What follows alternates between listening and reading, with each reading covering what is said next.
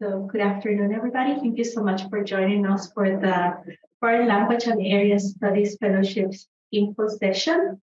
My name is Leni Ureña Valerio, and I'm the Associate Director for Program Development in the Latin American Iberian Institute, and I also serve as FLAS Coordinator.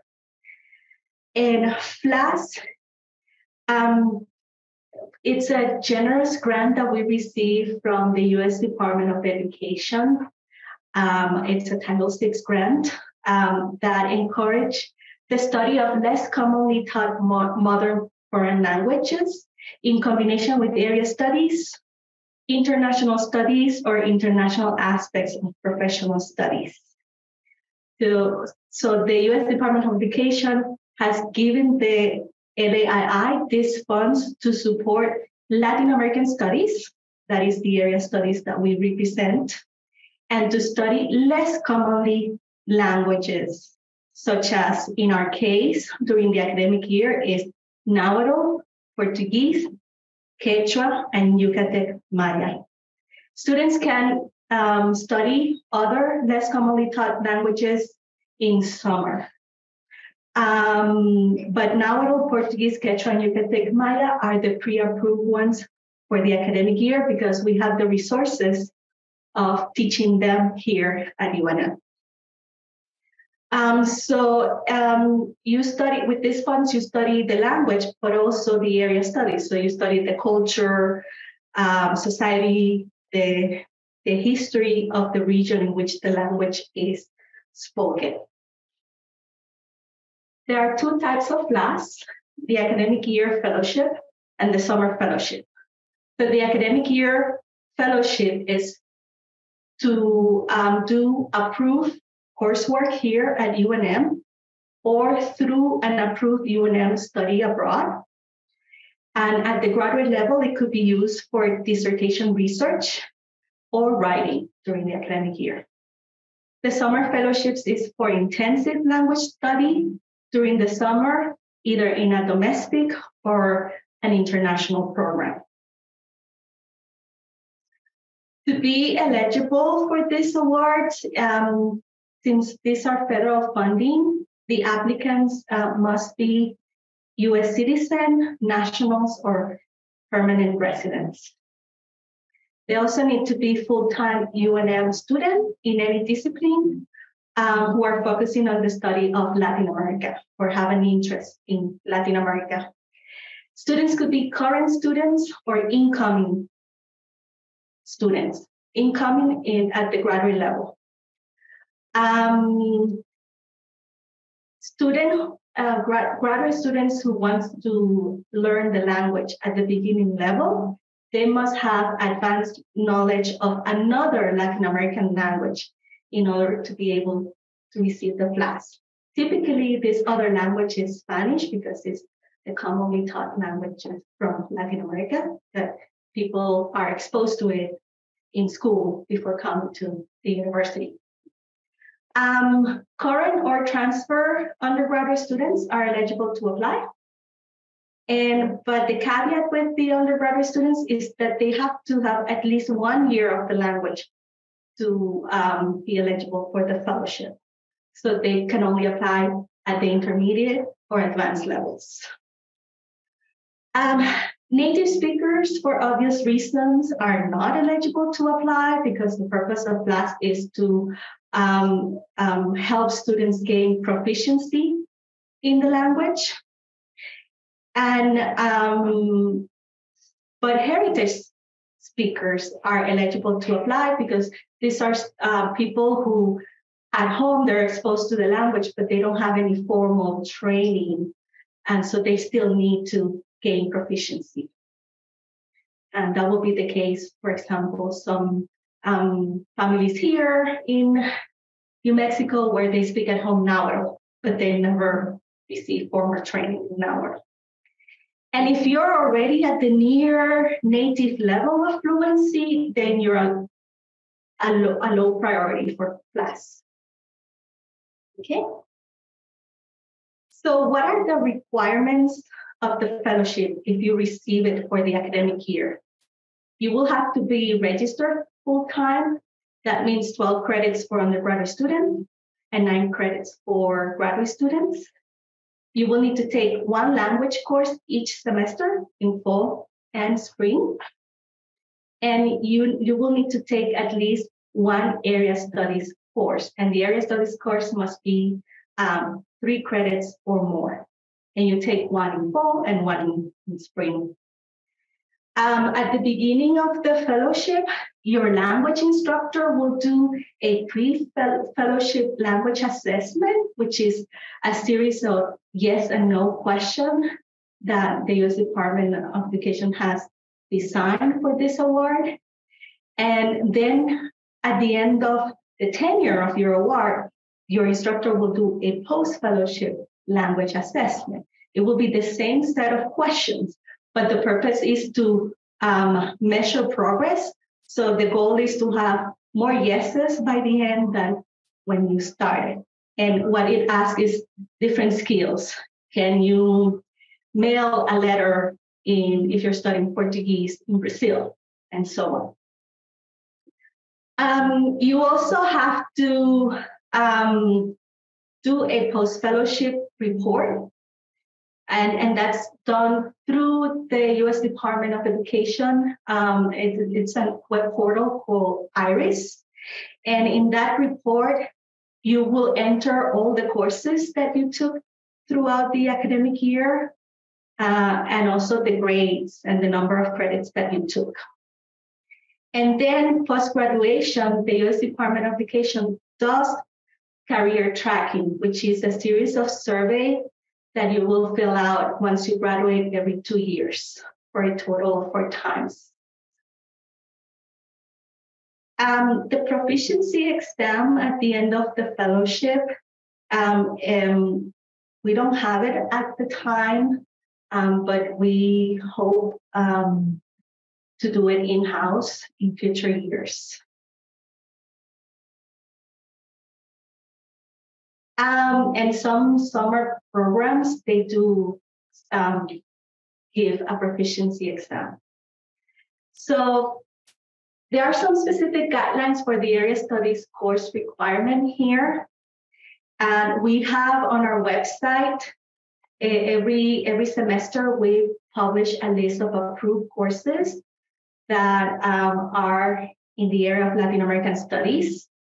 If a course is not listed there, or if if it's not clear that it has at least 40% of Latin American content, we have a form which you will fill out to make sure that you make arrangement with your professor to make sure that that class fulfills the area studies requirement. Um, audited courses are not eligible. You should be taking the courses, the required ones, to um, as um, letter grade. Um, for a letter grade, you cannot take it pass fail. And if you are going to meet the requirement with an independent study, that needs pre-approval. So you will need to give me the uh, a syllabus and the um, CV of the instructor so that I can submit it to our program coordinator in Washington, D.C., so they can approve that course. And the requirement is you take one area studies course, and that's separate from the language course. Um, so you have to take at least two required courses each semester one to fulfill the area studies and one to fulfill the language. You cannot use the same to fulfill both. Okay. So for summer, um, the requirement is to enroll in an intensive language program. I mentioned before, it could be a domestic program or one in Latin America. And that program should give you the instruction of the language that is equivalent to one academic year of language here. And how do they measure that? Well, for people studying the language at the beginning or intermediate level, that should be 100, 140 hours of classroom instruction in that language. And for advanced, which is third year or above of the language, it's 120 contact hours. And the program, the minimum length is six weeks. So if you take a six week program and you, you are at the beginning or intermediate level, you probably need to meet like five times a week for six hours. So it's, it's very intense training. Um, and like the academic, um, the academic uh, year fellowship, there is the pre and post fellowship proficiency evaluation that you will need to um, meet with your instructor to fill those out. You also need to send a report to um, the US Department of Education reporting the grades that you took in this program that you gained. And then the, the US Department of Education will also do post-graduation career tracking. So how much do you get with this fellowship? At the graduate level during the academic year, you get, um, the FLAS provides a 20,000 stipend and up to $18,000 in tuition and fees, and that includes health insurance for graduate students. For undergraduate students, it provides a $5,000 stipend and up to $10,000 in tuition and fees.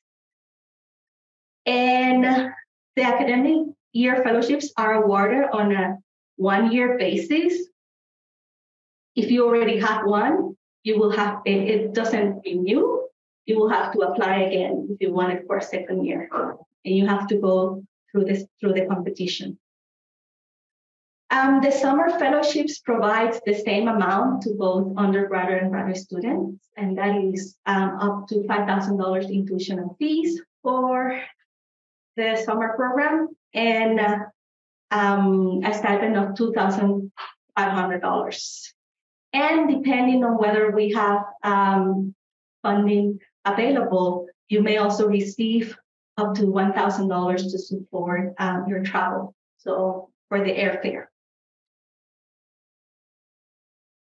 And let me go back. One thing about the airfare is that you need to talk to me about um, your airfare because these are federal funding and we need to follow the Fly American Act, which means that your travel must be on a US carrier from here to the country. But those are federal guidelines. So if you receive a travel award, don't go running buying your airfare without talking to me.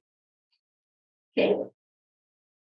So the applications materials are found on our website if you go to student funding, but you will need to submit a FLAS application form, which students submit via Qualtrics. And on our website, this um, URL addresses are there. You will have to submit unofficial transcripts. You will have to submit a CV or a resume, two letters of recommendation from faculty members. One of the letters must address the applicant's linguistic skills or ability to learn a foreign language in the case you are applying as a beginning level. You will also need to submit a two to three page double space statement of purpose. And you need to submit, if you're a continuing student or a, a current UNM student, you need to contact the Office of Financial Aid and request them to send us a need analysis form. And there are instructions on the applications on how to do that. But if you're an incoming student to UNM, um, you will need to um, attach the student aid report that you get once you submit the FAFSA. With those um, instruments, we can evaluate your need for this um, award. And if you're applying for summer, we also require you to submit a summer program information and budget, which is um, it could be a Word document or a PDF where you basically um, include the name of the program, the location, the dates, and the program costs. Okay. The statement of purpose is um, one of the most important pieces of the application uh, materials. As I mentioned, it has to be two to three pages double space. You have to state there your intended language of study, the relevance of the chosen language to your academic training and career and career goals, um, and also it helps to include information about your interest in Latin America or the studies that you have already carried out in Latin America. And if you're a graduate student and you're requesting the funds for the beginning level of the language, you must address in your statement that you have advanced level skills in another language of Latin America. Okay. And um, it's very important for you to state there also your um, how the area studies, so your formation in Latin America and the chosen language um, will help you further your academic and professional goals. And for this um, summer fellowship, you're applying for that one, it also makes sense to include in that statement why you're choosing this summer long, uh, uh, language program. Why it makes sense to go to a summer language program in Sao Paulo in Brazil versus, let's say, Rio de Janeiro. Okay. So we evaluate the applications foremost on merit, academic merit, that's why we ask for transcripts, we ask for letters of recommendation, and your CV where you show the awards and the honors you achieve. Um, but um, we also evaluate the re relevance of the language that you want to pursue and the field, so Latin America, the, the, the connection that those two have to your academic and career goals. The other thing that we evaluate, and this is when, when we have two equally qualified students, when we have two people who are tied in the merits and everything else, we use financial need. And the person that demonstrates more financial need, then we give fellowship to that person. And also students in the professional school and STEM fields and those planning a career in US government service, business, education, and the nonprofit sectors, we also give them priority. So we have, um, throughout the year, accumulated a series of questions that student, typical questions that the student have regarding the fellowship. And one of them is, if I'm a graduate student, can I simultaneously hold the Title VI FLAS Fellowship and an additional assistantship of fellowship? The short answer, yes. Um, with FLAS, you're allowed to work 10 hours a week, which is, it will be a 0.25 FTE graduate assistantship. Um, also, um, if you receive another fellowship, talk to me because um, sometimes you can combine them, especially if the fellowship was awarded with state funding or university funding that do not come from federal funding. But if you receive something from the federal government, then we need to, the FLAS students cannot double dip. So let's say if you have an NSF and the NSF is covering your health insurance, FLAS cannot cover your health insurance and so on. So, and that's something that I go over uh, with with um, with the applicants. So we never had an issue with that. The other question is, if I receive a Title VI FLAS fellowship for next academic year, can I assume that I will receive the award automatically the following year? No, you have to go through the competition and be selected again to receive the funding. Um, can I accept the academic year FLAS fellowship for one semester? No, unless specifically you were awarded for one semester, which happened this year just with undergraduate student, and this is one time exception. moving forward, everybody's getting it for two semesters. So if you accept the fellowship, it's with the commitment that you will do fall and spring. If something happens, then we will need to um, you you will need to forfeit the funding, and then we will give the funding to another student.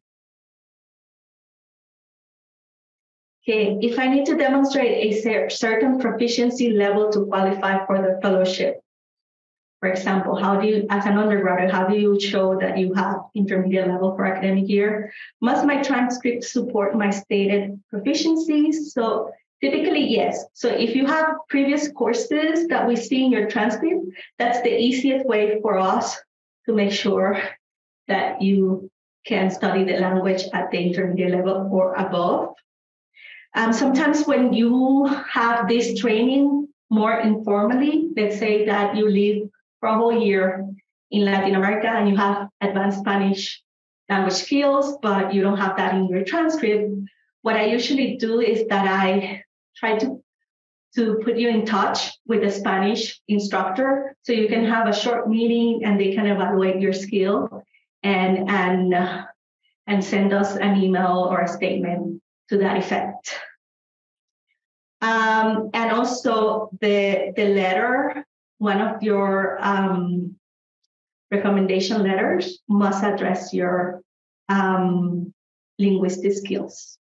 So that's another way of how, you know, typically, especially undergraduate students, um, we advise them to go to the instructor who they have in Portuguese beginning level to write the, the second letter of recommendation because then they can say, um, the student, they have these skills to continue to intermediate and so on. So the application deadline is we need to have everything no later than February 22nd by 11.59 p.m. And you submit everything except your the letters of recommendation. The letters of recommendation should be sent to us um, to the LAII business email address that I have in the next slide. And if you have, if you need more information, I know I've covered a lot. So once you leave the info session, there are a lot of things that uh, you'll forget. I'm here. You can always um, make an appointment with me and meet, or Zoom meeting is fine, or an email. And we'll also have a Q&A info session in January, later in January. I believe it's the 24th of January. So as you're going through the application, if you have questions, it would be good to join that info session so you can get specific answers. And so the letters of recommendation should be sent to this LAII business at unm.edu. And as I mentioned, if you have a question about the, the you know, eligibility requirements for FLAS, feel free to contact me. That's my email address. But if you have technical issues with the application, uh, if there's a glitch on Qualtrics, please email laiibusiness at unm.edu. Okay, now is the Q&A session. And I want to remind everybody that we are recording the session. So if you allow us to have your voice recording with the question, that'll be great. We'll include the Q&A session. But if you don't allow us, we'll just cut that part from the the recording will place on our website. Okay. Any question? Stop sharing. Yes. Um, for the the language evaluation slash recommendation letter, does that have to be from a UNM faculty member? Or can it be from like my faculty that actually did language study with me in undergrad? Yes, it could be from a previous institution. It could even be, for example, if you worked in Latin America and you had um, um, an advisor there, they can write that letter. So you have to have an academic letter. So uh, typically your advisor here who knows your research and your work, work the most will write one. And then whoever knows your language skills, then that person will write the second one. That makes sense. Yeah.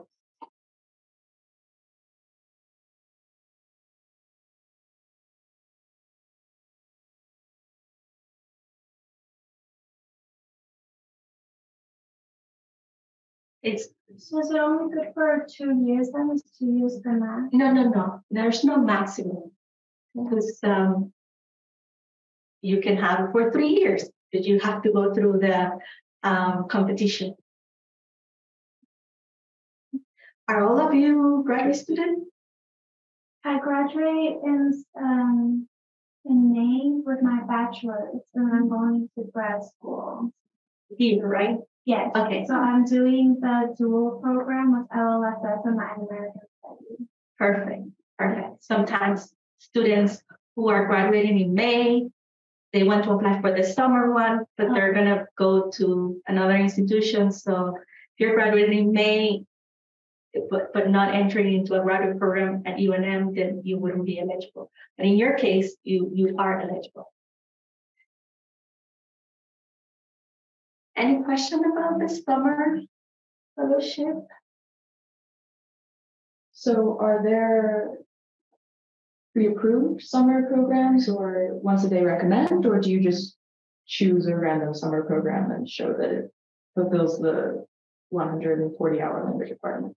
So CLASP, the Consortium of Latin American Studies program, and I'll I'll give you the um, email, the URL for the organization. At the beginning of spring, they post on their website pre-approved FLAS eligible programs for indigenous languages, also for Haitian Creole and Portuguese languages. And if if you find some a program there, that's the safest safest way because it's already being approved by the U.S. Department of Education. It's through a FLAS granting institution. But if you are interested in attending a program that is not there, then you work with me, and then I'll tell you what we need to submit to have that program approved. Mainly, we need to make sure that it complies with the minimum of six week uh, the duration of the program, and also that it's meeting the number of contact hours based on your level of the language. But it's something that you'll work with me to have it proof.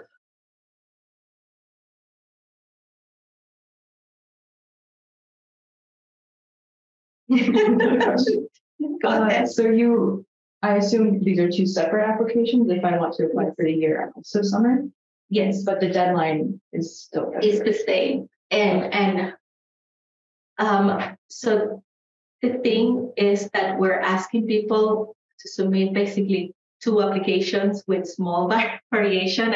We understand that, but uh, that will help us make sure that you know summer evaluations are evaluated independently from the academic year one. So one competition doesn't have a bearing on the other, if that makes sense. And it's um, basically if you're applying for both, most of the is you just need to put two copies in different Qualtrics portals. So they don't have to be entirely different. I mean, obviously, there'll be specificity depending on the summer program. So I would say the the the statement will need to change because you need to justify why you want to go to that program, um, how the language and and and support your career goal. That that'll be the same, hopefully. Some people they apply for one language in summer and another language for the academic year, which is also perfectly fine. Um, but you need to um, justify the need of each language to- on vis-a-vis your goals or research or. Um, but the transcripts remain the same. The um, um, the academic and, and language letters of recommendations will be, if not the same, very similar. And uh, um, the application has, uh, both applications have a lot of overlap.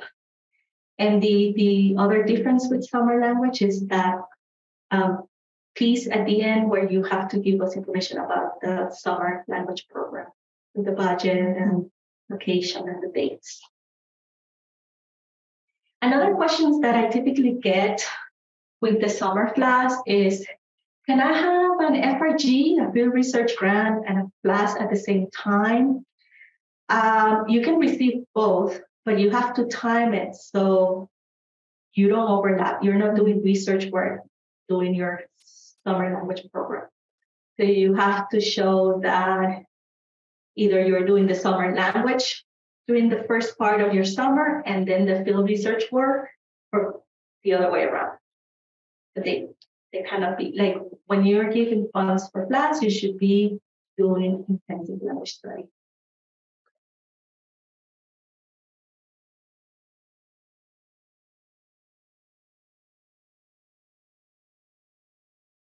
Very straightforward, right? no, there, there, there's a lot of information and a, a, lot to digest. But as I mentioned, if you have any questions during the process, just feel free to email. And I advise you to contact your recommenders as early as possible to give them enough time to submit the letters also, when uh, contacting the UNM Office of Financial Aid, make sure that you're submitting your request at least 10 days before uh, the due date to make sure that we receive those financial need analysis forms from them. And if you need to, well, I don't think it's the case here because all of you are current student, but uh, we just mentioned for the reporting, if you are an incoming student and you haven't fill out the FAFSA and do that as quickly as possible for the 2023-2024 year. And if you don't have a FAFSA with the university, I'm pretty sure you will need to submit one so they can get that financial information. Um, what else? What other tips do I have for you? Um, oh, yes, I have a question. Would you like us to like attach transcripts proving Spanish advanced proficiency in addition to the Portuguese or the, the for me, Portuguese, the classes that I've already taken? Or do you not need those for Spanish? Mm, mm, no, I mean, would you be applying for Portuguese again? Mm-hmm. Yeah, since they'll show in your transcript your courses, we don't need the and also, you only need to prove advanced level if you're applying for beginning level of a language. So you'll be applying for intermediate, right? Oh, I see. So once you're intermediate as a graduate student, you don't need that advanced skills. Okay. Mm-hmm. So if, if you've never taken Quechua and are applying as a graduate student, not undergraduate student, graduate students, they need to have the first year but if you're applying for Quechua, then um, if your transcript doesn't already show that you have advanced skills in Spanish or Portuguese or any other language, um, then I will advise you to meet with a, an instructor or someone with um, um, skills to evaluate you in that language skills and authority to evaluate language. but the easiest way to prove advanced level of proficiency is, is the transcripts. So if you have, if you have to dig out all transcripts, include those. That would be very helpful. Okay. Well, thank you so much for attending and feel free to contact me if you have any other questions.